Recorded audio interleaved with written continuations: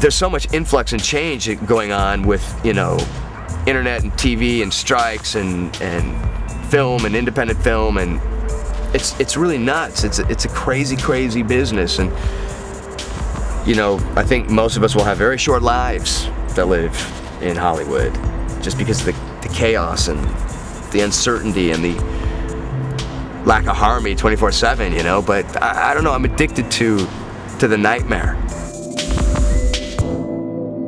I'm a lifer. That's that's tough, man. You know, I, I miss that that thing you have when you're a kid that all you care about is, you know, Yeah. getting home and, and playing games or or you know that that Saturday morning cartoon. That irreverence that I had as a child is what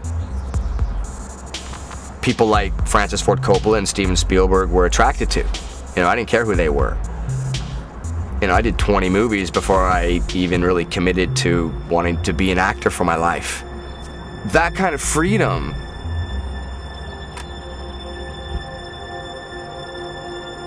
I would give my right arm for today.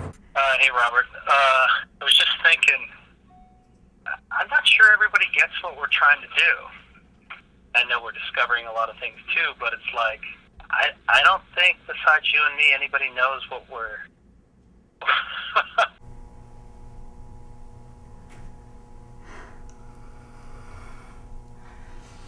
Yeah, I'm doing it.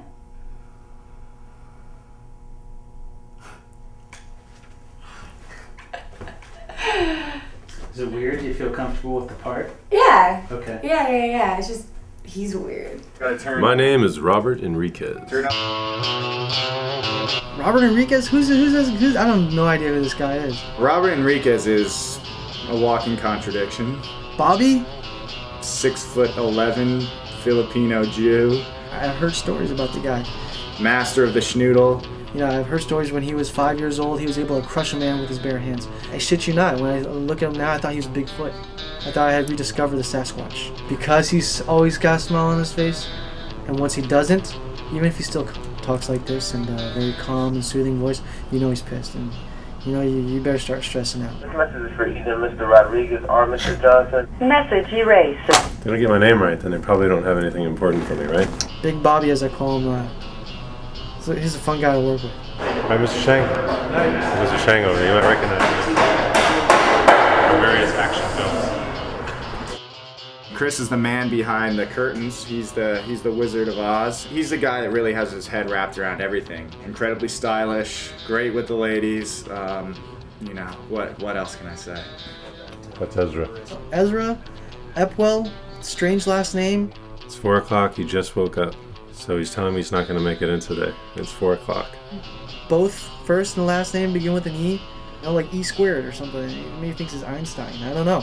Uh, then give me a call back and, and we'll catch up and I'll try to get whatever I can done today. Sorry for, uh, Yeah, what's he gonna get done? I definitely was good guy. Alright, well, I'll talk to you soon. So we had a good night. What does he mean by that? He's the guy who would sleep until 4 o'clock, telling me, calling me at 5, telling me he can't make it in today. I could make it in. I would just be in for like an hour. Damn. So that's our that's our uh, line producer. He's taking care of things for us. Happy New Year! Happy New Year! This is where it all happens, right here at this desk that I got on Craigslist. We, we start shooting next week. Well, we've got. Uh, you told Jonathan we got seven days and we got one actor, right? We don't even we only have one actor. And when are you guys starting? The ninth. Well, we don't have cameras yet.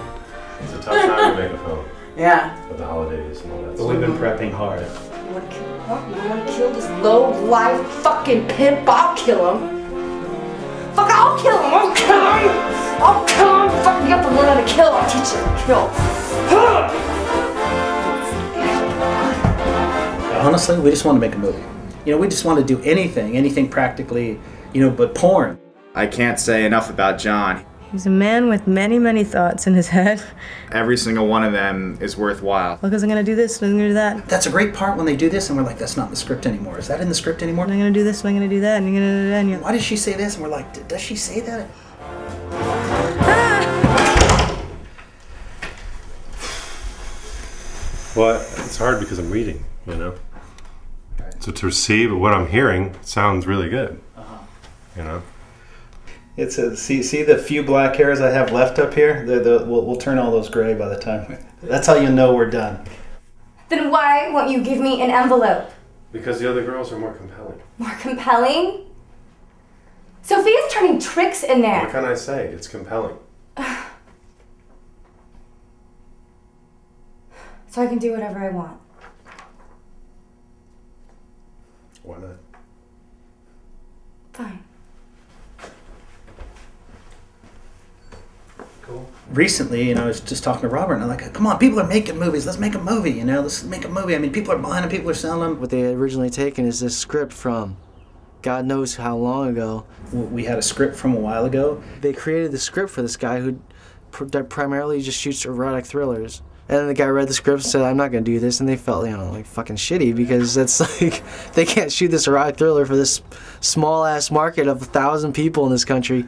What the fuck are they going to do, you know? I said, let's sit down with the distributor. Let's work from the back. What do they want? You know, and make sure we're work backwards, like it's a business, and uh, as compared to what just what we wanted to do. Uh, Robert uh, showed up, and uh, we started talking. And he says, "I'm going to do this movie, and um, I want you guys to distribute it." So we met with him. We talked to him. He was cool. We liked him, Richard. He kept calling like, guys, come on. You know, we're not making Gone with the Wind here. Show me the script. They took this script and they just try to revisit it again. And then he said, show us the script. And, and then we're like, oh my God, you know, that script? You know, he actually wants to do it. And so we're like, we can't show him that script. You know, the next thing I knew, we had a copy of the script. So he read it and he's like, I'm not thrilled. I hated it. That's great. He didn't even like the script. And uh, Sorry, John, but I hated it. and we were just like, we walked out with our heads down that day, like, oh, and Robert's like, oh, this sucks. Not going to work. And It was just a little too rough. so then I just went home that night and the next morning, I rewrote the first 12 pages. Any subsequent drafts were just as fast. call up Richard. Is this what you like? Yeah, I like that. Now we're, we're darker. We're you know people are real. They're human. You know, struggling. This is what we want. You know, we're getting there. And we met with his partner, and she gave us some ideas. And I was very pleasantly surprised as to how much he incorporated our suggestions into it. This is very unusual. Fine tuning it, fine tuning it, and again, working with Richard and Barbara. There was potential. The potential wasn't quite realized yet. And then finally got it to a point where it was shootable. Because the story was always there. There's always been a story. There's, John's been really great about story, and it's a film. It had some holes, but you know we kind of patched over them, and so everything kind of worked out for itself. You know. Yeah, we're starting next Wednesday, the 9th. Hmm. Damn. We're trying to bend over backwards to get Teri Polo on this film. We could have a car, pick her up at her house. She just had a baby December 24th. Anything that would make her, you know, comfortable. She's very weak. I'm like, we'll pick her up from her house. We'll do whatever, just whatever it takes. We want to get her on this film, and we could easily get a stunt double for that stuff. I'm like, let let's try to make something here happen. I don't care if I have to, you know, sell my car or whatever. I want to get her on this film. if I have to start taking the bus to get to the set, to, to get her there, whatever it takes. Doesn't she have three dogs? If I have to walk the dogs, I don't care. Just just and, and anything. Don't even you know anything crazy. Anything she needs. Just awesome, awesome, great. Thank you very much. Of course, we're gonna end up spending a lot of money that we don't have, but in the long run, it's worthwhile. so funny, Viv. I don't think anyone's showing up for our auditions, but what can you do about that? We get Teri Polo, I'm gonna play the other roles. Teri Polo. man. Gotta get Then we got a movie. Then fuck everybody else. We can cast. We're gonna play Brooke and uh, Exactly. we're gonna be the girls, guys in the house now. We're like now. They're not fake. They look it. It's now transvestites in the house. Hot girls in a house. Dot com, dude. We got the dot com. It's not dot us. It's not dot biz. It's not dot info or dot net. You know. No, it's a thriller. It's it's it's it's borderline action thriller. It's about a guy. In this case, Luke. Blackwater is his last name. Luke is a little bit um, down on his luck. It's a guy who's got to make a lot of money very quickly, He goes from one bad business deal to the next. and he's involved with very, very bad people. And when we meet him, he's just running. He's already in over his head. His debt to his bookie has been sold. The person that he owes money to has sold his debt. He's already like sunk. And uh, get sold down the river. We want it paid in six days or bad things are going to happen. He's of the street, and he has his other pal of the street, a young kid who's hip and savvy, and you know really knows how to how to sort of work the streets. He decides that you know he's going to create this reality show for the internet. And he puts together this voyeuristic house scheme. They build a kind of Big Brother house. So it's like a Big Brother goes online. We all look at the internet. We all have been in places where we've owed money to the mob. Four hot girls in a house. Little do they know that these girls have a history themselves. this guy's a loser. There were many traps playing sort of a degenerate. People think he's he's an idiot. Except Courtney. We've done shady stuff together before, but maybe nothing this shady. Maybe. He's got this woman that really cares about him, and I think it's not till the very end that he realizes that. Are they really that happy? I don't think so, because ultimately they're probably going to have to, they're probably going to find themselves in some not so savory situation shortly. And when they do the sequel, I hope that's exactly what happens. Maybe. Or maybe the producers here are trying to boost ratings. Or maybe Naomi's crazy ex is sending her a message. Or maybe it was one of these degenerates you always bring around. Don't you want to execute this low rent pimp? Interesting. I guess it. Isn't she just weak? Just I'm weak. reading going NYU School of what Tisch School of the Arts. I'm like, come on. She Yeah. just wasn't good. Yeah. She was reading. She read the whole thing. Yeah. Some people are just not good auditioners. You got that on tape. You know what I'm talking about.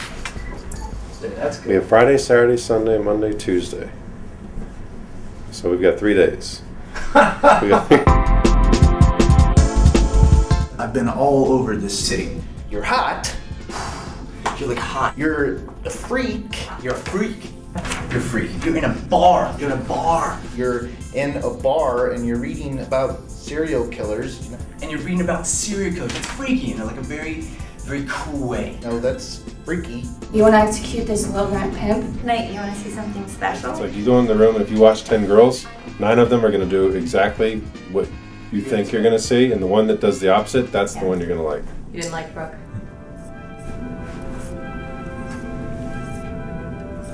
I don't like making decisions. So I end up with people who make them for me, who dominate me, and they're usually cruel. But I guess it's better than being alone. I've never been alone in my entire life. In fact, being alone is probably the worst thing I can imagine. Hmm. Silly little me. Thanks for coming in. No, that was, I just started tearing up. I was like, holy shit, that was. That's, if someone plays it like that, that is the way to play it. Plus, you just feel the energy. Chris is jacked up. Ezra's jacked up. Everybody is. Everybody's doing well. I think art department's going to get on the right page today. Uh, right up here, building seven, Red Baron. we're just getting wood for a shoot that we're doing. What show you are on? I'm on uh, Red Baron Films and Management. Which floor is it? Fourth floor, building seven. First floor? Don't worry, we didn't just sneak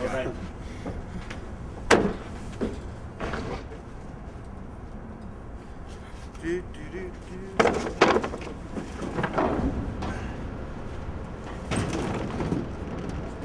guys.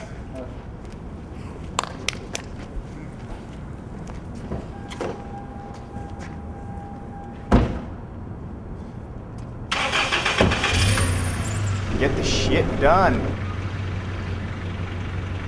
Like I said, you know, it's it's kind of the job that no one wants to do, but I'm the type of guy that wants to do it all. So what can I say, you know? I don't like throw the term second coming of Jesus around lightly, but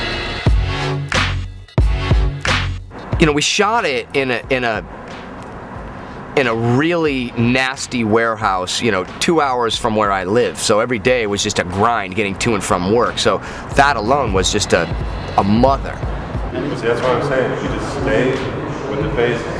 A couple of weeks ago, this was just drawings, you know, plans, ideas in their heads, and now they're materializing. So it's pretty exciting, you know.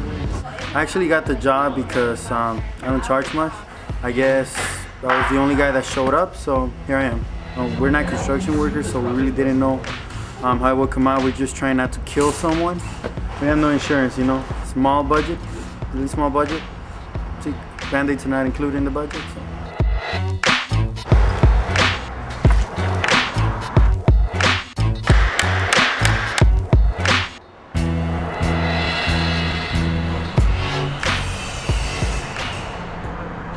When you first think, hmm, can we pull this off? Can we have a, a warehouse full of these girls uh, doing this? Yeah, we can. You know, good people in a bad situation, Friends, strangers, life situations just kind of conflict. people will do anything for money. As independent as one might think they are, everyone kind of has to fall back on somebody at some point in their lives. Will we do it? Yeah, we will. Uh, When you screw up, there are consequences.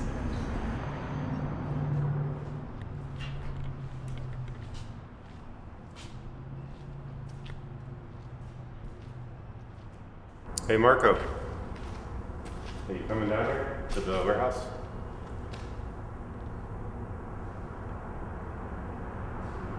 I'm sorry? To come down here? Yeah.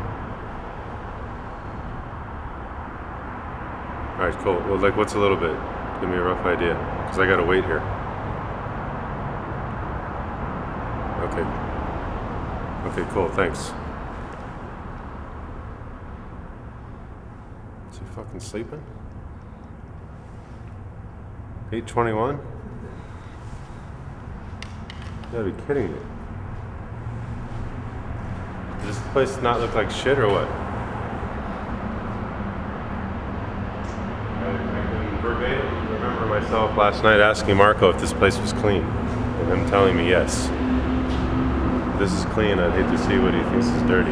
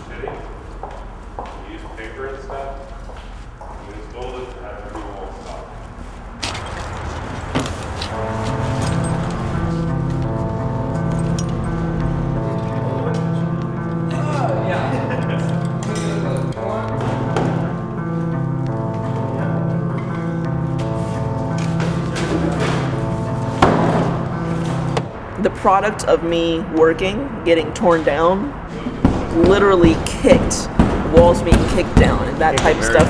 You know, I would be lying if I said that that didn't hurt my feelings just a tad bit.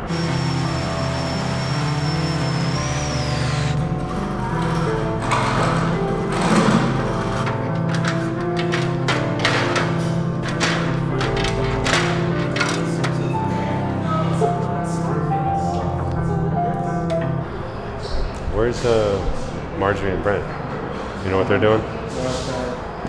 Um, yeah. You all pissed off? Everybody's pissed off now? What? Because they said, how come they didn't come in earlier?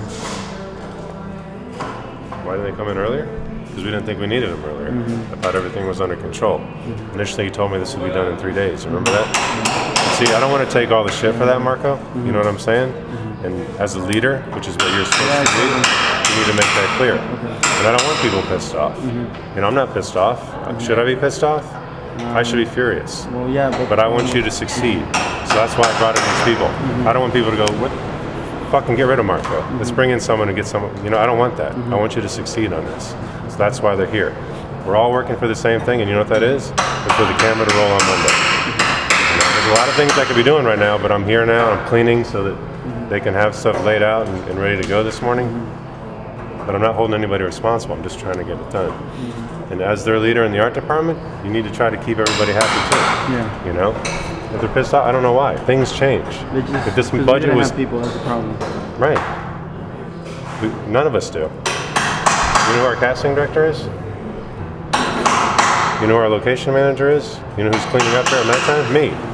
But I mean, it just has to be done. Mm-hmm. You know, it's, it's, it's like we don't, you know, there's no time for that negative kind of stuff. It's just, we want to get it done. At the end of the day, when we're watching this on film, nobody's going to remember all this shit. Mm-hmm. You know? Yeah. But we've all learned from it and we're going to grow from that stuff. Mm-hmm. You know? And my goal is for, you know, let me get Marco in here, let him get it.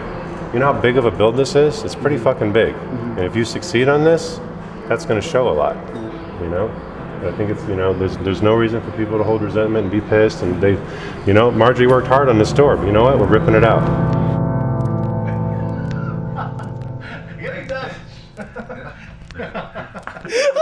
I mean, damn. When do we start shooting this thing? Tomorrow, man. We got like four hours. 12 hours. Oh, 12 hours. No, it's like six. We got 10 hours. that it? You- That's the second masturbatory scene. Second one. Got it. Okay. And then we do the one where she's getting murdered, and then we cut to the very first masturbatory scene because then then we can Alex. call Alex to come in. she's the- European audience love this. I uh, I spoke with some of my buyers about some of the elements, some of the nudity, and that sort of thing, and they said, "Hey, this is Sweden. We don't care." So The elements that are going to sell the script nudity, nudity, partial nudity, You know, boobies. Sex, full nudity, bush nudity, nipplage nudity. There is uh, some intense scenes and some nudity. So you've got the, the, the sexage. When she's on the phone and when she's cleaning the bathroom topless for some odd reason. Is there jugs? Part. Herself in the bathroom, okay. Girl on girl action, nudity, partial nudity, non nudity. Wipe the non nudity. That, that's not going to sell it. It's a family film. It's a family film. It's a nice, gritty little drama. And, and don't forget the nudity. Nudity will help. Alright, so uh, Naomi's scenes, right? We have to find people who have read the entire script, make sure they're comfortable so there's no surprises or we don't step on something or when we get to the set, definitely it's not a time for discussion or finding out any surprises then. If somebody's not comfortable with something, we have to get it out of the way now. No, because we're thinking of if Brooke does it, right? Right. You know, I think a lot of people are afraid, especially girls, of getting manipulated or or or uh, taken advantage of or just exploited in some ways. And hopefully, they've seen the whole script, so they know that's not what we're doing. But there are parts of the script that are uh, some people might not feel comfortable, so we want to make sure they are. So we know the shower scene is wet t-shirt, nothing else. We can live with, but no bottoms under the wet t-shirt. No, like a guy's shirt, but she's not wearing any underwear. But if she has a shirt and underwear, it's kind of like that's a little goofy. Yes. But no underwear, because I think that would be a cool look. No underwear. Making out scene. So at that point, we would kind of be screwed, right? No breasts. Is that the rule? But I just felt like Brooke was so hung up on it. Are we going to end up with a drama situation, an uncomfortable situation where? I think as long as we're open right now, we tell her exactly what we're saying, and again, like you said, Uh-huh. just gonna have to trust us. And, Uh-huh. You know, I just felt like she's been so stressed about it already, and I'm worried that it's a lot of pressure on her. That I Well, don't. we just lay it on the table. If she doesn't want to do it, she doesn't want to do it. Then there's no, you know. Okay. This is really gonna be shitty stuff. I gotta ask. I hate it. Ah, firing that girl is gonna be a fucking nightmare. She's gonna scream at me. Well, we gotta see if Brooke does this first. talking myself into this. Hello. You sound good. What's going on over there? Oh, do you have a second? 'Cause I got a lot of heavy stuff to talk to you about. Um, for one, do you want to do the film? Okay, what if you're wearing a bra? Well, I mean, as far as that stuff goes, probably we're not going to show that, so you probably would be wearing, you know, something larger anyway. I mean, we're not an we're not an X-rated movie. It won't be. It won't be tomorrow. That's for sure. I mean, we start shooting tomorrow. Yeah, we start shooting tomorrow.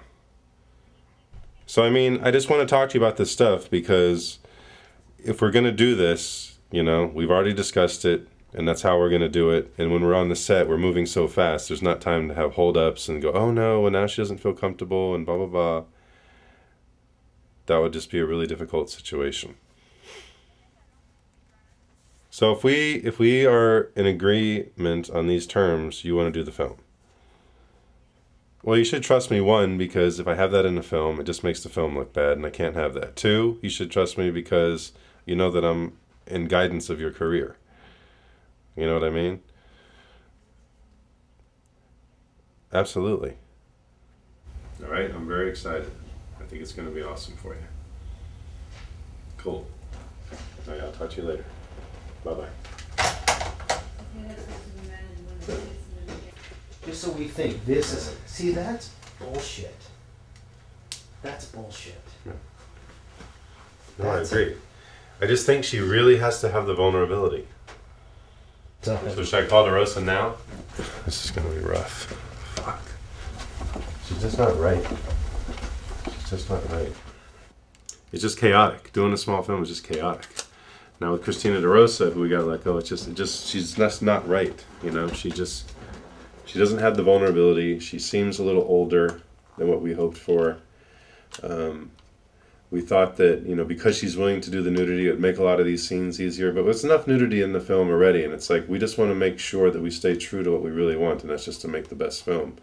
And nudity isn't necessarily going to make that the best film. Where Brooke had a lot of concerns with that, but I think look wise and talent wise, she's just perfect, and she's just got such a great young vulnerability, and she's she's only 21, so I think Christina DeRosa is like 25, I think. 24, 25, 26, in that range. But she's just got all those elements, like a Playboy playmate, and that's not what, you know, that's not the feel we want. Unfortunately, because the way the script is written, a lot of people see it that way, but that's not, that's not what we're going for. So, getting rid of one of our leads, quarter to 11, night before the first shoot. You want to close that door? Don't want anybody coming in and fucking with me.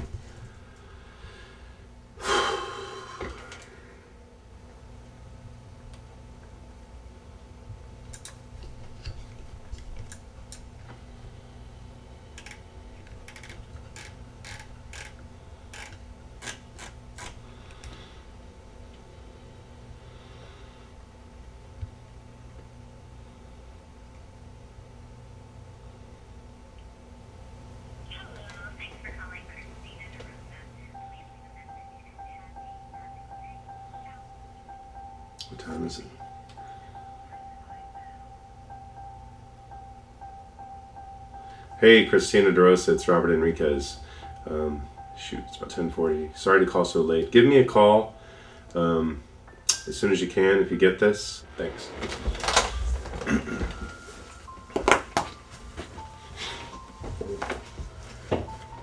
There's a lot of stuff going on in this movie, on, on all of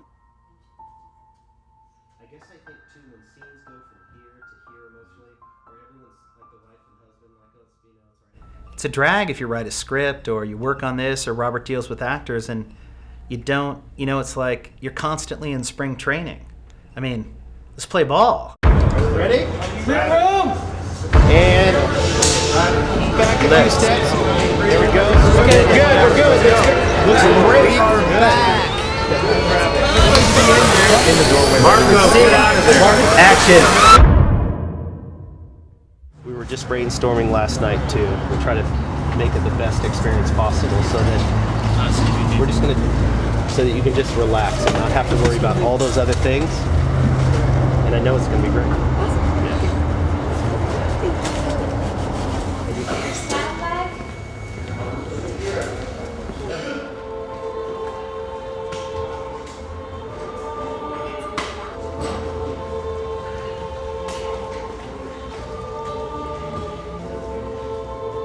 Have all my sex scenes today, every single one of them. Back to back, back to back, back to back, back to back. I guess it's getting it out of the way, which is cool because they're my least favorite. And now when we meet you again, you're already kind of already talking to him. It's kind of in the middle of it. Not the middle, but we'll start. I get it. I just basically masturbate and make it look really hot, right? Yeah, pretty much. Okay.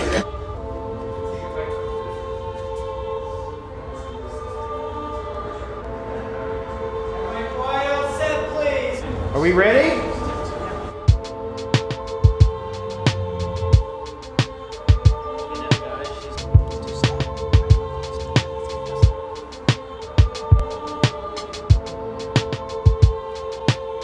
Between takes, I was like, oh god, my poor mother. What's my dad gonna think?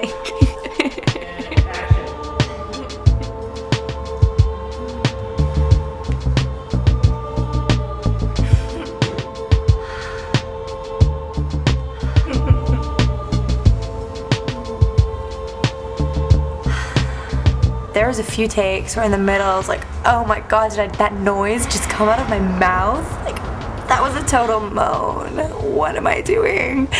Ah. It's hard to fake an orgasm because I guess in the actual act of having sex, you're so lost in, in ecstasy, you don't hear yourself. So you're never like, huh, how do I sound? How do I do this? How do I how do I make this? So it's hard to not seem completely fake. So you almost have to give yourself one without actually giving yourself one. You know what I mean? Let your legs fall, Lauren. Cut it. That's a cut. So we're going sea eaters now. Here we go. Whew, that was steamy. Some intense stuff going on there. Quickest uh, orgasm I've ever witnessed in my life.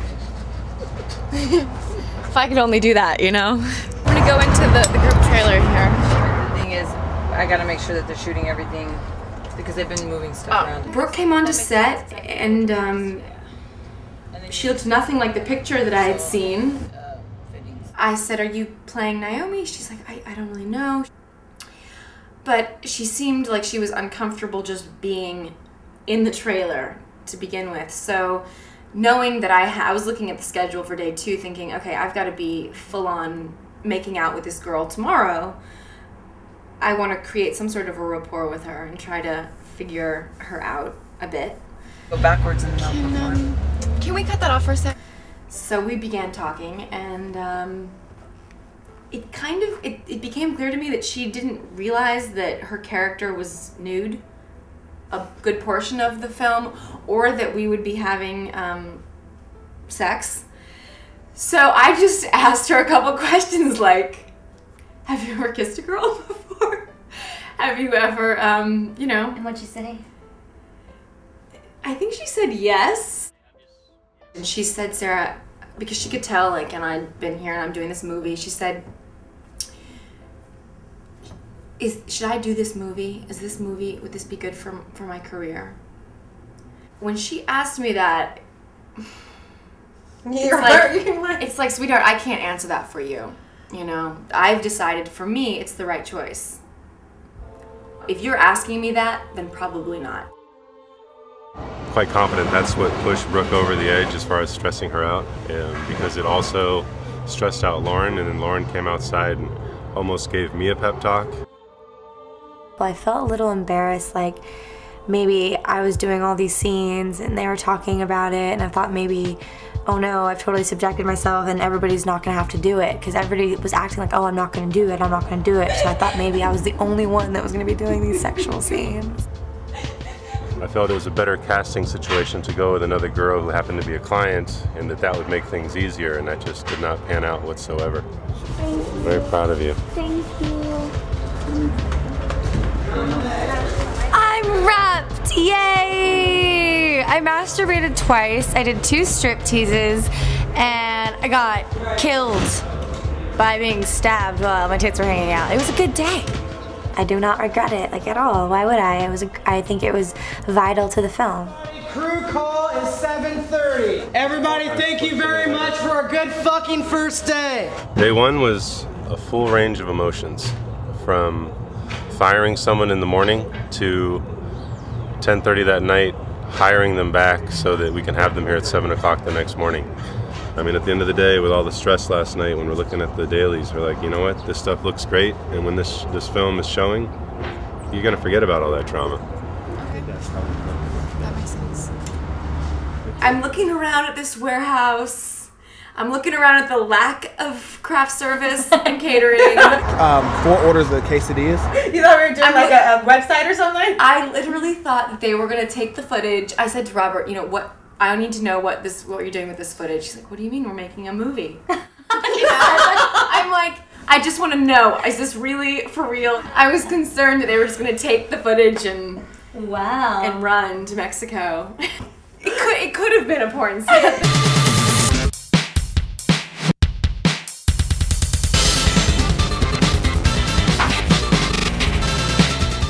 Story there that, that keeps people interested. When you have a film like this that has both the exploitative elements and a good storyline to it, that's what our consumers recognize. They tell their friends, hey, that's a good film. A lot of people read the script and see, oh, that's just like, you know, this is a porno type thing, blah, blah, blah. It's like, not the way we're going with it. Cut. It's a cut. Beautiful.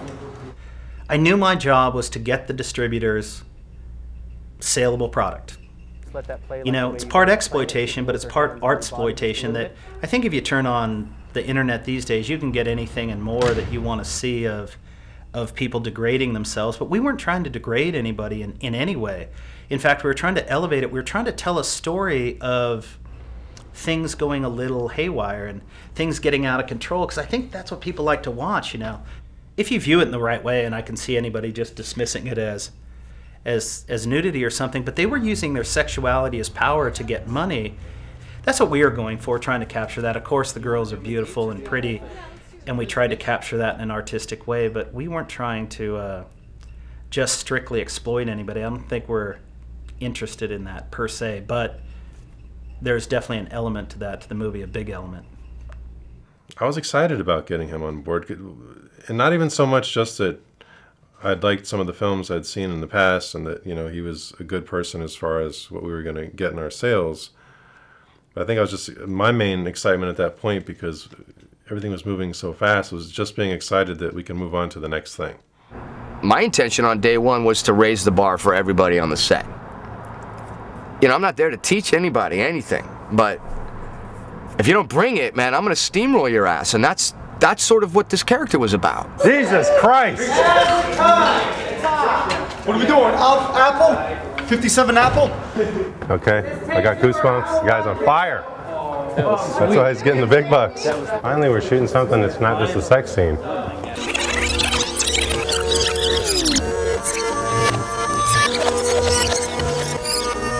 And action.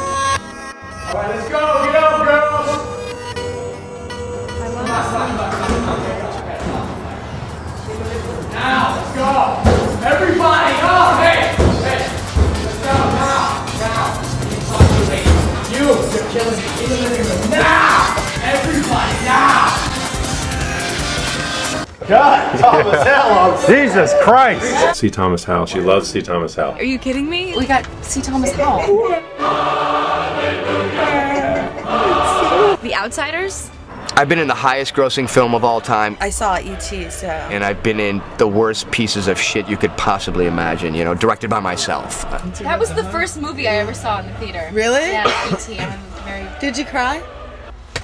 I was so young, I don't remember. I've been an actor for 36 years, man. I'm 41. That's all I've done. Oatmeal looks good to me now. In the morning? I've never done anything else. I, I'll, I'll order that now. I, Try you're fruit. fucked when you're ordering oatmeal. I'll pick that. At a, re- I'll take the oatmeal and some wheat toast. What does it come to? You know, you don't have a 35 year career when you're 41 and not see the peaks and valleys, you know. Nobody told us about his reality show. He's on a magic show. It's like Dancing with the Stars, like Magic with the Stars. Awesome. See if my man can do a little magic for you right now. I want you to be able to see. I don't know if you can all see, but you you see him taking off his hat in there, right? Right. You see him reaching into his hat, right? He's taking off his hat, he's reaching into. And what's the card? The Six of Diamonds. He's reaching into his hat, and what does he pull out? no, I'm, I'm, I'm.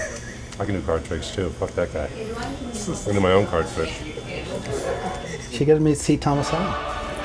Come on, man. Cut, print. You're gorgeous. A bad movie's like bad sex, man. It's all good. Thank you, guys. The worst sex I had was pretty freaking good. Thank you, and good night. Mm, You probably know who you are. What are the three most important things about this film? C. Thomas Howell, C. Thomas Howell, C. Thomas Howell.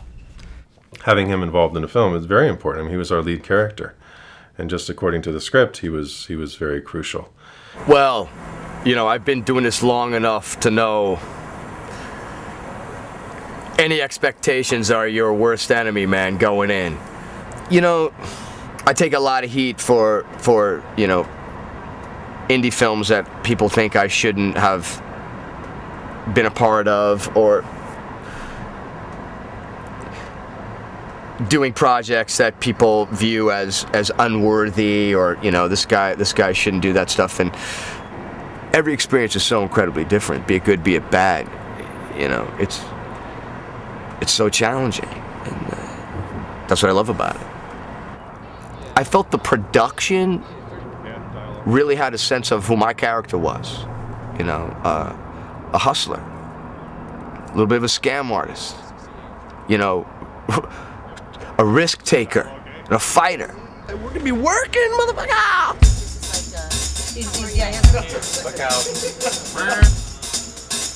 Technically, I mean, independent film is anything that's not a studio film. The average person doesn't realize that most of the movies that won Academy Awards over the past 25 years were independent movies. You have indie films being made for 50 million bucks. Crash, Million Dollar Baby, The Departed.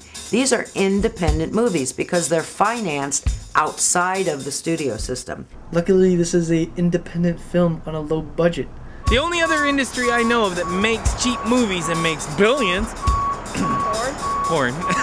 When we're talking about independent film in our case, man, you know, we're not talking about a lot of money. We're talking about when when you hear the words action you don't know the difference between a studio film and an independent film Well, every film, no matter what the budget is, pretty well feels the same. Where, where you know the difference is when you turn around and you know your giant dressing room is like a three banger that you're sharing with some hairy dude that you don't know. That you kind of got to get over, and that that you know going in, you know. I don't know. I kind of I dig the whole you know sharing one trailer. I, I don't know. I like I like the independent dig it, thing. huh? I dig it. I do. Everything's locked in. Would you mind just giving me a call? So, uh, So the priority is is you know everyone's here, obviously not for the monies. We decided before we spent a penny, we had to have certain actors attached. We had already locked down C. Thomas Howell. We had to have a, a meeting with him. So we met at some, I think, Hamburger Hamlet up in the valley. He had a, a milkshake, some chicken wings, and I think some french fries. That, that- that's going to be similar to the craft service he's going to get. Michael Welch. Michael is a uh, a gorgeous human boy creature. I think I kind of like through my character developed a tiny bit of a set crush on him. Michael Welch, who we got lucky with, with Twilight and things like that coming out, he's kind of like gambling on a hot stock. He's really sweet. He's different. He's not like most actors in Los Angeles. better watch out. We had him first. Not really, but you know, we had him like seventh or eighth. I mean, this is a kid you really keep an eye out for because he's going to be going places. Acting isn't really an adult's job. It's really you know. Michael Welch is a young actor, but he's he's phenomenal. And we had some some young ladies, some ingenue, if you will, who you know some of them had worked a lot, some of them were were fairly green. For movies to get sold, there has to be a cast. This is the lowest budget film I've ever been a part of. How'd we get Tanya? I think we didn't have. I think we forgot to audition people for that role. No, no, no, that's not what happened. We were trying to get Teri Polo, and they kept like stringing us along, making us feel like it was going to happen at the last minute. it was just like, look, it's just not going to happen. So we started scrambling because we weren't really reading that many people. I had some friends visiting from Australia, and I had told them, unless I get some random offer on the weekend, I will happily show you LA. We're gonna have a great time. I think it probably was just a day or two before we started shooting. It happened really quick. Saturday morning, I hadn't checked my messages, and when I did, there was like five in a row from my agent going, "Hi, you have a meeting? Hi, you have a thing? No, you don't have a meeting. They have an offer. Can you call me back, please?" so it was that fast, and I had a house full of really disappointed Australians. I can't believe it. This movie is lucky enough to have a cast. Of course, Robert and John were very smart. They put in some recognizable names so that people, you know, add some credibility to it. C. Thomas Howell has a great reputation in the in the industry. He always delivers. If the movie was starring you and me, nobody's going to buy that. So Robert says, "Hey, what do you think about Sizemore for this project for for Chuck Cap?" I'm like, "Huh." Sizemore was somebody we considered for the lead. Did he just get out of jail or something? I knew that he wasn't in great demand and he'd be a possible person that we could get, maybe. Saving Private Ryan. I always remember his scene in uh, Enemy of the State. We're huge fans of his talent. So I give his agent a call. We're on set. It's about three o'clock in the afternoon. So Chris was handling the brunt of all that for sure. Yeah, you know, we got this project. We like to bring him in for a cameo. Be opposite C. Thomas. It's just just them two. Half day. You can handle a half day. I'm like, all right, great. Anything more than a day though, I don't know. I was like, okay. And then and then Halsey is uh, trying to get something off the rig. Ends up busting his thumb. I had to take him to the hospital. Meanwhile, I have these calls coming to my phone, and I need to pick them up, but I can't pick them up. And then they're trying to talk about Tom Sizemore, and they're trying to close this whole thing. And in the meantime, I'm trying to sit with this guy, this poor guy who works his ass off, and just had his thumb split into three pieces or something. I knew Chris was working on it. Robert and I had talked about it, and Robert was working on it. Chris stayed up late. I, I was a little stressed out. I was like, we're gonna arrange this car service for him at like 10 o'clock at night, you know, because the next morning we're gonna have to pick up Tom Sizemore at like 6:30, 6:45 in the morning, and get him on set by 7:30. He never emailed me or called me to really, really confirm after he spoke to Tom the last time. You know, so we were a little freaked out about that. Hoping he was going to show up. Didn't even have another backup. Otherwise, we're screwed because we have nobody else for that Chuck Cap role and shooting tomorrow morning. You know, during this whole time too, my dad was going through cancer and through through a bad phase, and uh, you know, so I was I was trying to deal with that too while while shooting all this stuff too. That's that's pretty difficult to maneuver. I woke up in the morning. I woke up at six o'clock in the morning, sweating balls. I don't know if I'm gonna be playing Chuck Cap or Robert. John's maybe gonna play Chuck. Who knows? You know. At the end of the day, five minutes later, ten minutes later, see this black car pull up. And it's like it's like it's like in a movie. It's like in slow motion. You're sitting on this crack of a set, and you finally see this limo, this black shiny limo. Finally, his car pulls up. It's like oh, and you see the glitter off the, you know, sun rays off of the wind windshield of the, of the car, and it starts slow mo pulling up. And he's there on the set before we started shooting. I opened the door for him. What the fuck is this place? Tommy Sizemore. I don't think I left his side the whole time he was there. First of all, we were surprised and excited. And we didn't want to say anything to C. Thomas because uh, if it didn't work out. And we thought it just cool, like what was his reaction? Tom Sizemore. It was expressed to me by his agent that he's gonna, he probably will be a little emotional. Isn't he in jail? It's his first thing since he got out of jail, but he definitely wants to make a good impression. No, he's here, you know, and, and he's uh, he's gonna work with you. And he came storming across the warehouse to me and he's like, he has the script in his hand and he's pointing out and he's like, Shit, give me the sides. I need five minutes. We better go to work. "We- got Tom Sizemore. You got, we got Tom Sizemore. We're, we're not reading this. We're not reading this. I'm like, we can do whatever you want. It's not about the words. You know, it's about the moment you're in, and it's about sparring and knowing when and when not to be speaking. And with Tom, it's generally more about knowing when not to speak. And there was a few little traps he set for me that when he saw that I wasn't going to step in in the beginning, that's when he let down his guard and we got into some really good work.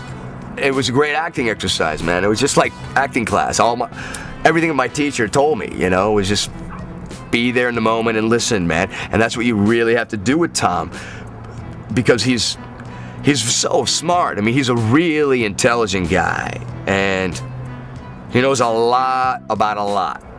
You think I'm stupid? I'm all things stupid in one of them. you see two experienced actors checking each other out. I know there was just like sparring and some shots, but There's really no ego there. It's it's just uh, it's real. It's pure, and I, I, I really liked it. It was magic. I mean, just watching them was so compelling to watch them to just sit and talk with each other and, and to see C. Thomas's enthusiasm because he could really have someone he could trade punches with. Besides, well, you never know what you're going to get out of him. But no matter what he does, it's real. Very real. Although I know that extemporaneous scenes is not exactly something that producers and directors like, in this case, it really worked out well. And just what what a slime bag. I mean, just did a great job. So We sacrificed a lot to allow Sizemore to to work his magic. So we spent a lot more time there than we should have, but it was freaking gold. It was just gold. So we're definitely behind, definitely behind, behind, behind. But uh, we're gonna have to rock. I guess is what it comes down to. that was really smart to let him do that because he turned that small role into a really memorable scene. I think we started off with about combined maybe six sentences, and it turned into almost a five minute scene. You know, he turned to me and he goes, "Why didn't you write more for me?" And I said, "I didn't know you were coming." Said, "If I knew you were coming, I would I would have put more effort into it." And he, he said, "Next time we'll do something bigger." I said, "All right, next time." Tom's an interesting dude, man. You know, and and he's gone through hell, and and uh, I think he's learned a lot, and he's ready to sort of get back on track and do important work again. And this was a step in that path for him, and uh, it was really cool. The truth of the matter is, I need a really good story and I need good actors. Cast, cast, cast, cast. Let's put it on her and let's, let's, let's put her through the grill here. Yeah, really, it's not so funny What? anymore, huh? Whatever, at least I don't stand out here pretend like I'm doing something and be like, oh. Oh yeah, I'm trying to cast somebody who's working in the next hour that I don't have yet. That's how I do it. I like, I I like, care? I like to do black. It's called blackberry casting. You hear me? What's that? You want to cast the dog? I mean, he seems to want to work. My first cameo is going to be as a pervert.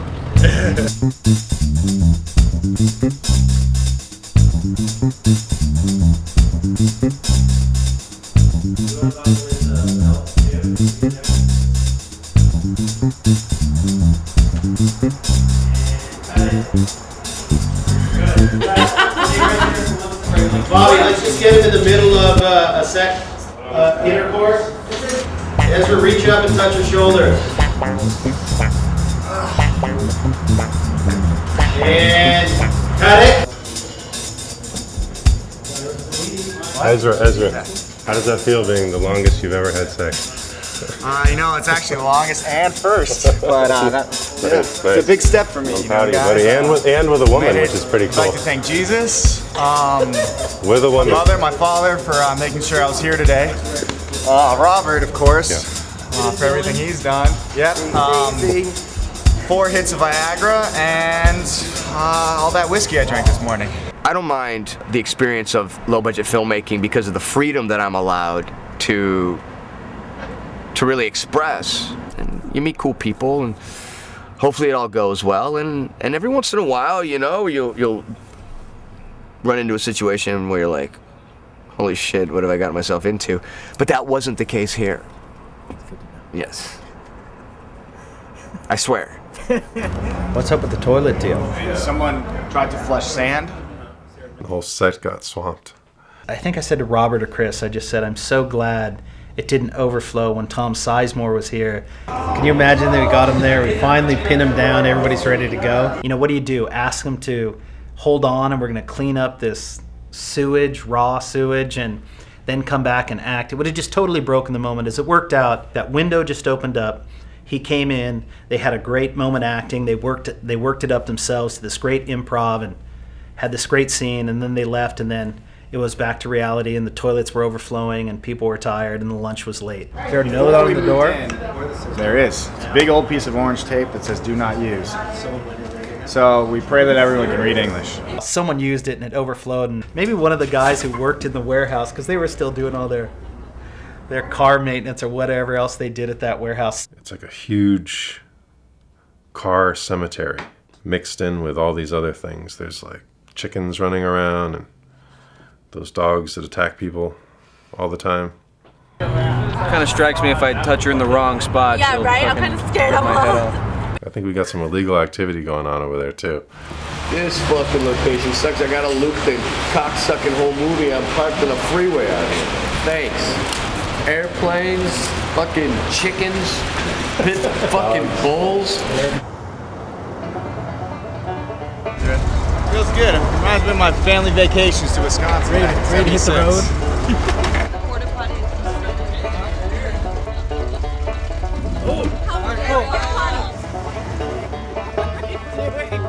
76. This is Run so over the random. random stuff I thought about grabbing one earlier. I was like, hmm. Oh, no. this one is the one I was checking out now.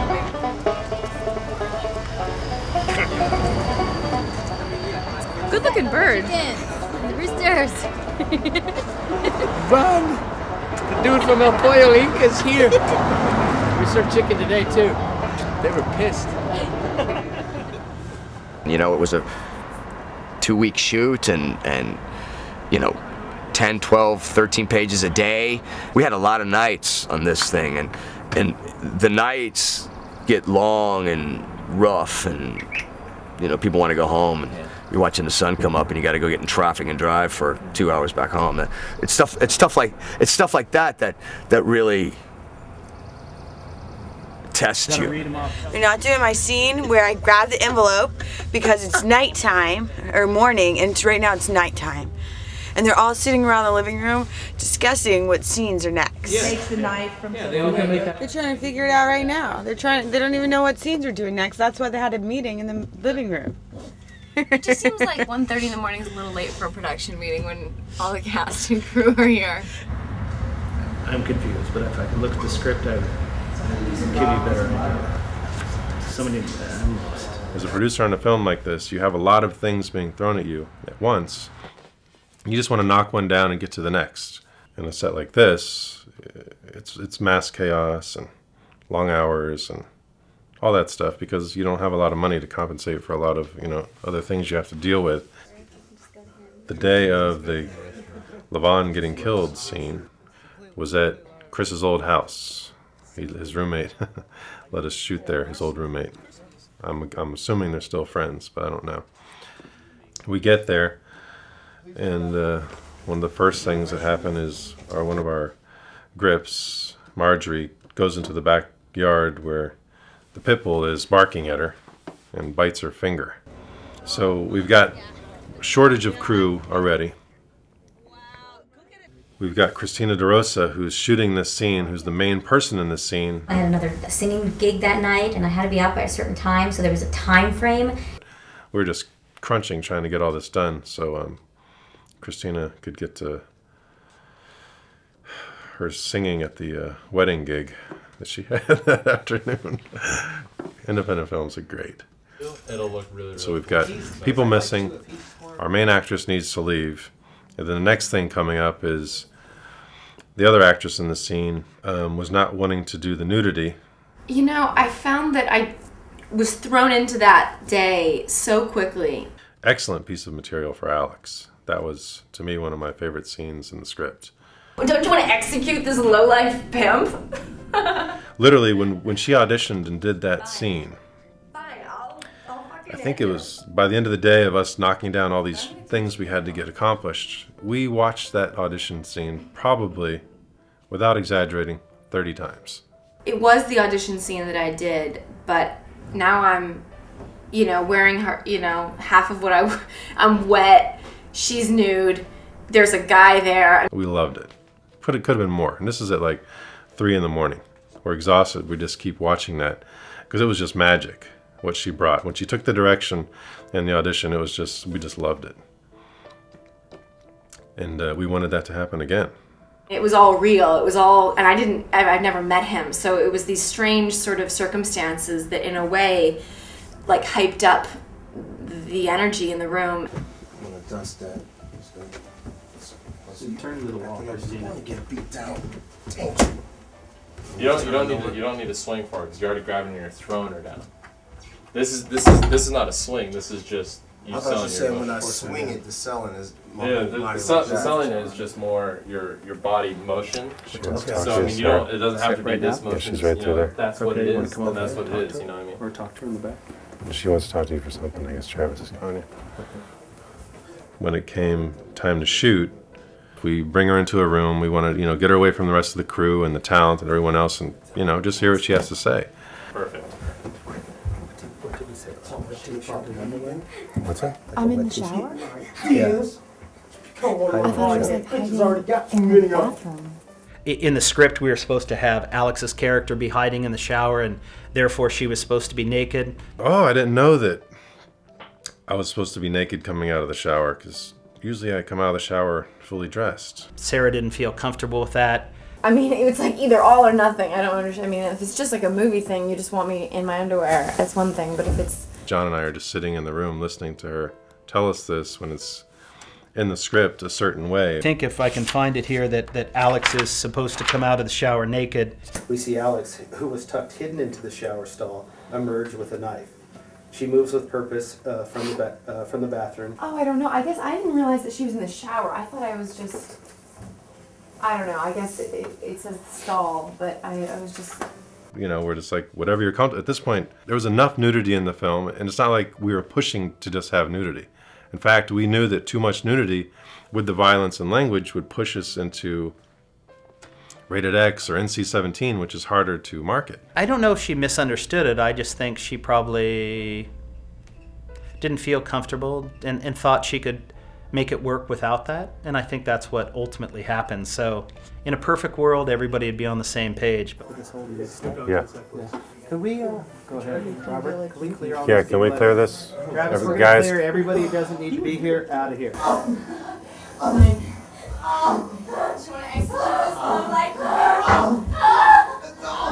we want to put a hand grenade on the table and let it blow up. So, if there's an element of the script, you know, that you can only use as a blueprint, but take it further or or you see something in the character, I'm fine with that. We like that. Doing a smaller movie gives you the opportunity to uh, to push the envelope, and and that's what I like about it. I just thought that was a great dramatic moment. Someone dying, someone screaming, and someone laughing, ecstatic, almost in ecstasy. I thought that sort of tableau was was beautiful. And and Robert and I, we were watching the monitors. We were just so happy we'd finally pushed it to the place we wanted to push it to.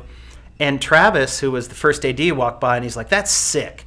And I realized we're there. Don't you want to execute this low life pimp? This movie was gritty, man, and it was dirty and it was real. And it and it's almost when you watch it, it has a reality documentary style. You know, handheld, uh, high def, sort of voyeuristic. We had a plan and we wanted to shoot in a certain style and we rehearsed that style and then we practiced that style. Then we had test shoots of that style and we were pretty sure it was going to work.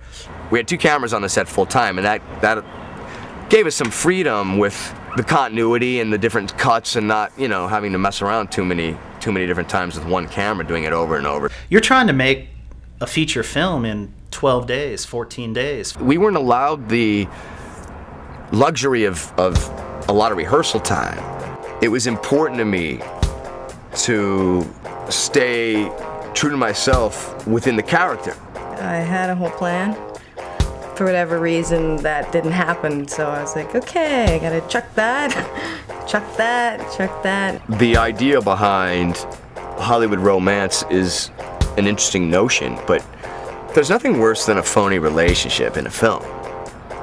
You know, I think she had a hard time with the fact that, you know, she felt like she was the leading lady and maybe we took the opportunity of the romance or the love scene away. We strayed so far from the script that you thought you were gonna shoot, you know, a scene about a girl running into an old boyfriend, and it turned into a girl meeting her brother who broke his leg. like it was just so different. I mean, it was pretty clear that, that Tommy was going to be driving the scenes and that it would be a mistake to try and drive yourself. I didn't have that connection with Tanya anyway. You know, she didn't always jive with me, and I certainly didn't always jive with her. And the, and the thing is, is I don't have that experience very often. You know, I usually get along with everybody.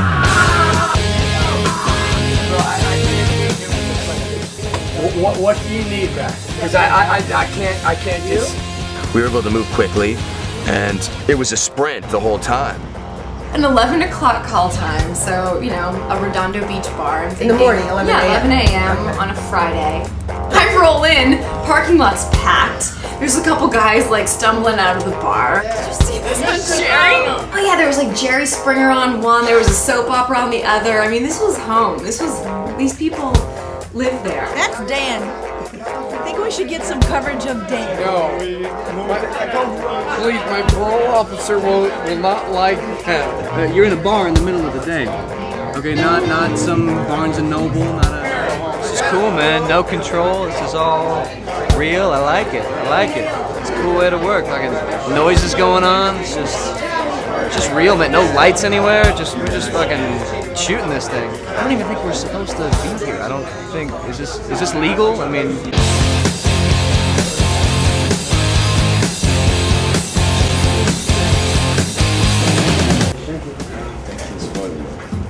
First day, Red. Thanks, man. First day, that kid's like, comes and gets me, bangs on my fucking door. Go, go, go, go, go. Open it up. We need you on the set. All right, man. Tommy, we need you on the set. Okay, man. He looks at me and goes, what's your name? I looked at him and he goes, I mean, I know Tommy, but what's your name? I was like, Tommy Howell. He goes, you been acting much? And I was like, a little bit. the first scene we did, I'm yelling at all the girls. We're walking, he goes, you did pretty good. and he goes, I write some stuff, you know? I mean, we can talk later. I was like, all right, bro.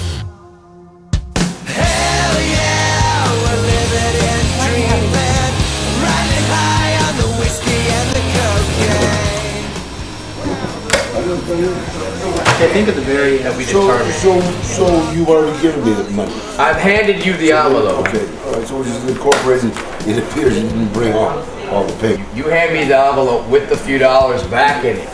And that's what we're thinking we'd like to take it from. And you're basically saying, no.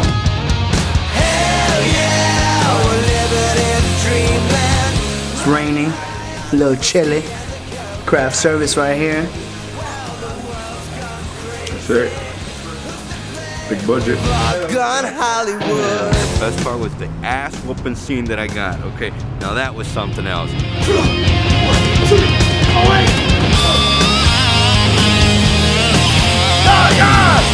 Just another day in the life. It's like I still got a bruise right here. Yep,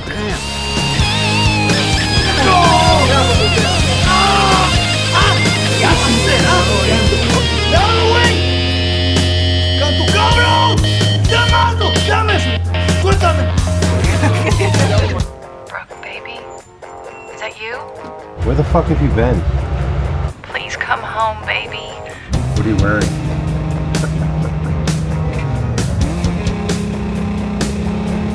We've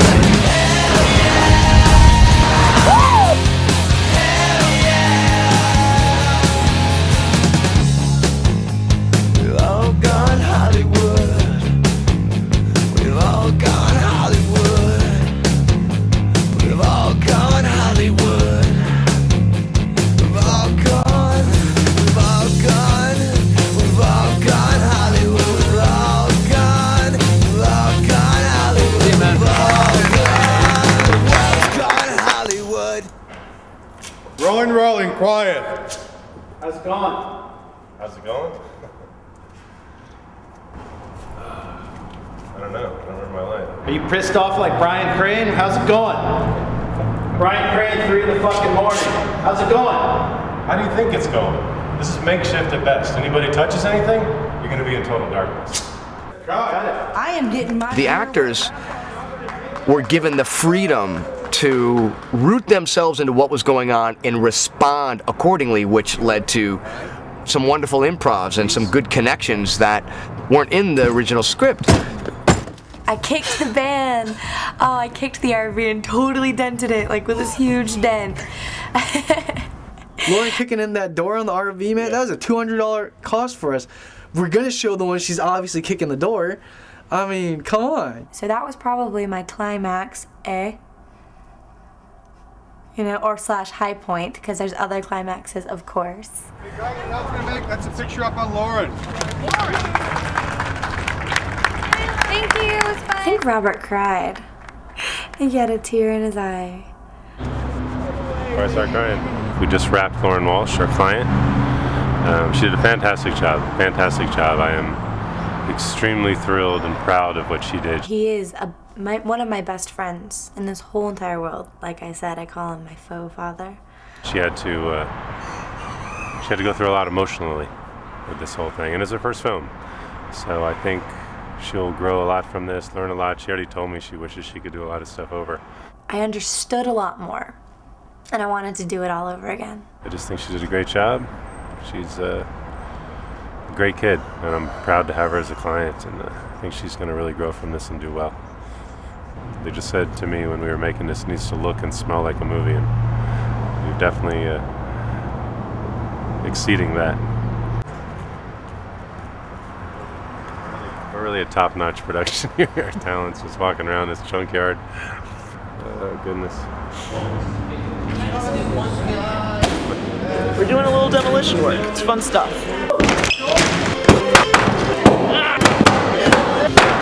They built they built a solid bed frame. That's what Yeah! This is for all of our hard work that was literally torn down in one hour and fucking rebuilt because we had no fucking budget to build with. And they came in and fucking outsourced our jobs. Fuck you.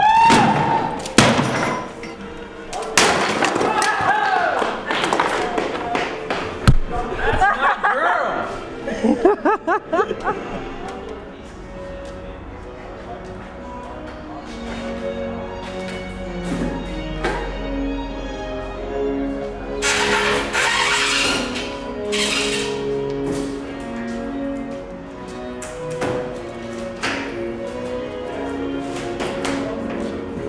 see this place empty, like I found it, spent two weeks of my life here doing all that work and now it's gone. Eh. Such as filmmaking, right? You come on, you do all this work and one big happy family and then you leave. I'm very pleased with uh, the way the movie looks, and I think uh, the producers and the director and everybody involved in the movie did a great job. You know, the, the performances are, are strong, and I'm, I'm, I'm really I'm really happy to see that everybody stepped up. Everybody sort of brought their A game, and there were just a lot of like talented people. And everybody was such an integral part of the team, you know, from the camera ops, Brian Crane, even though, you know, we had our struggles with him. The heated moments I don't think are directed towards one another. It's just a way of venting the, the, frustration. Yeah. It's a lot of group forced trust because you all totally need each other.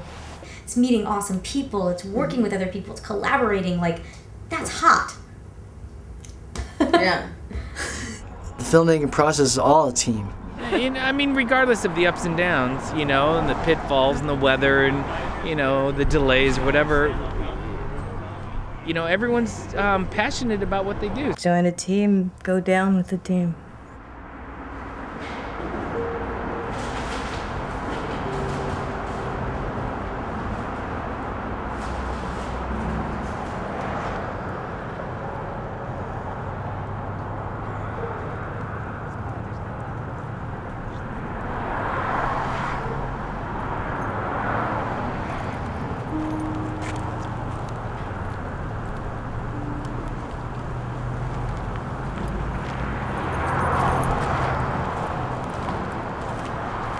I think we're good. Cut it. Go. Just fighting this weather. This weather's been unbelievable.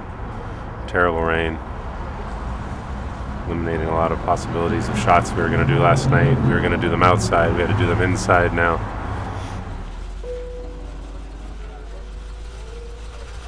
Good. If it stops raining, we'll get it. Oh. So after we do the printer one, do the do the printer one. Is that it for the actors, or we got a bunch of other crap? That's it for the actors. What I just said. It's not raining right now. We might get lucky. Basically, John and I and Chris were just gonna we were gonna do it ourselves if we had to. We wanted to get those shots because there's not always another day. because we don't have enough time to push things back. We don't have enough time and resources to allow the rain to be a setback. We just got to go. We're just it's go time. So we need to repark the van. There's, there's the, the, right, right now, you're looking at about an hour and a half's worth of work between moving this thing, relighting it, recabling it, and lighting the exterior. Those are for normal people, but I'm not this telling- super fucking human crew. It was raining cats and dogs. I think that was that was tough to deal with. You know, we got all these wires going through the water. If we really want to get these shots the way that we need to get these shots, we're gonna have to set up through the water. We're running around in water that's like six inches deep. Brian, the DP, went out with the electric meter and just put it in the water, and he could he could read how much juice was going through it. And when you know when Halsey's telling me he's getting electrocuted four or five times in that water, that kind of freaked me out a little bit.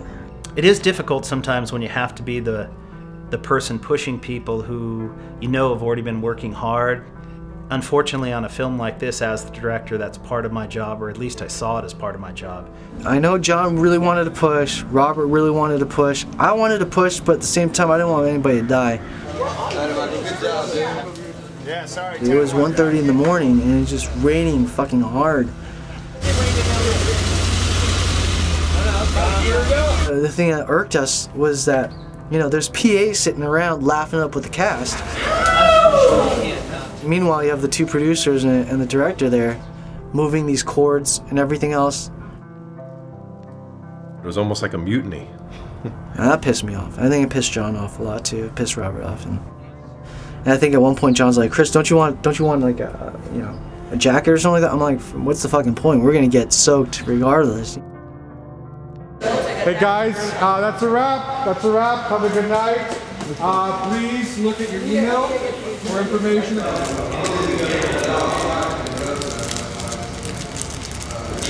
We ain't dead yet.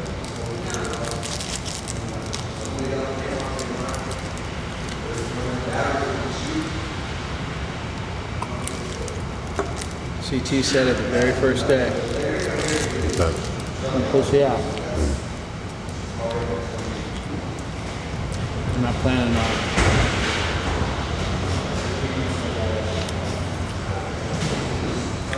Trying to push the finish line farther back. You ever been backpacking? Sometimes when you're backpacking, you're going up the switchbacks, and it looks like it's the last switchback right there to the top of the mountain.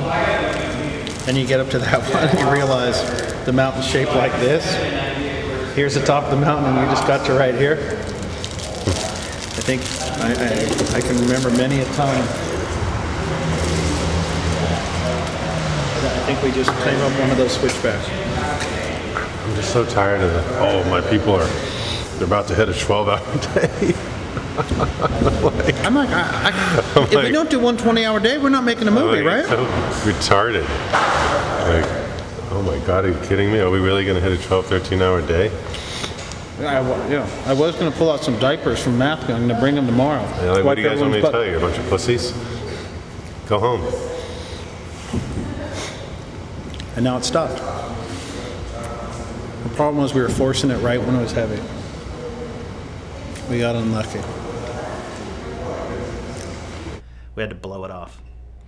Too dangerous with all the electrical wires going through puddles and rain and, and, and you know 220 volts sitting in a puddle out in a parking lot. I, I think ultimately cooler heads prevailed and we, we packed up for the night.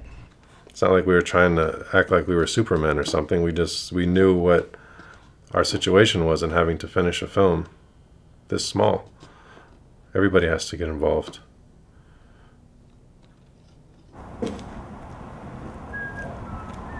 Robert and I kid about, you know, some people think making a film is uh, is like taking a vacation, and him and I view it like going to war.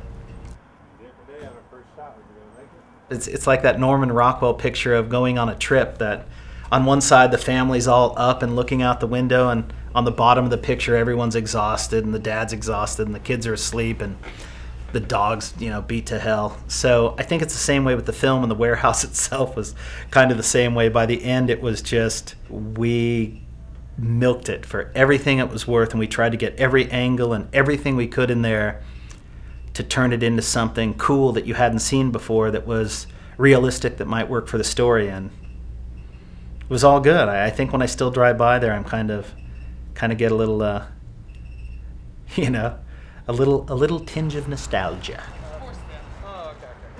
So much waste occurs in, the big budget projects that uh, you know it's refreshing at times to put on the sneakers and sprint instead of trudging along slowly you know pounding out two pages in five days it's, that gets tedious but like i said when it's easy it's great you know it's it's when it's tough that's when the cream rises to the top man honestly we just want to make a movie I think I think some things that were not that good have gone good. Some things that were good have So gone we're gonna bad. make a cake that no one's ever It's, tried. it's an emotional roller coaster. Because I love it. There's Every plenty of other things I could do. No, I mean, regardless of the ups and downs, you know, this- and the pitfalls, and the weather, and you know, the delays, whatever. go that way You know, everyone's um, passionate about what they do. I spent six hours. I was wondering if the freaking movie was gonna fall up the same apart. old shot twice. Robert's great. Just Is he thinking, going shoot, to? I'm working on Said it. anything Yes. Roberto, we love you. I hate this and crafty suck today and blah blah blah blah blah. And I bitch It all gives you night. that one and still I wake up in the missing morning that- for some reason I still come back. any expectations are your worst enemy man going in Stop crying and filming. Going into a film like this, there's no one I'd rather work with. Doesn't matter if someone's done 15 or 20 films or someone's done one film. I know where John's coming from, and we've gone through it before. We've gone through hell. So I love working with a guy. He's like family to me.